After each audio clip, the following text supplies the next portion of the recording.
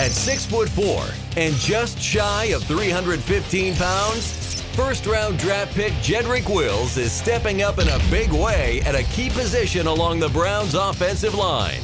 His toughness and agility, along with athleticism and impressive feet, allow him to fend off some of the elite pass rushers in the game today. As a lineman, the quads, hamstrings, and glutes are especially key in establishing a firm base while blocking.